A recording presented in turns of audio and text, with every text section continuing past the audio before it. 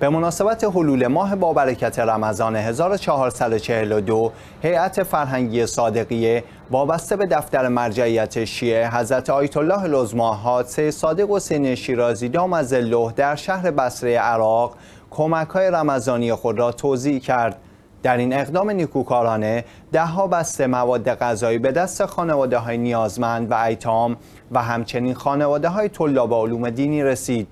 اهدای بسته های معیشتی به نیازمندان در ماه مبارک رمضان از جمله توصیه های آیت الله لزما شیرازی مبنی بر حمایت از نیازمندان است که هر ساله توسط مراکز مرتبط با مرجعیت شیعه در نقاط مختلف جهان به اجرا در می آید.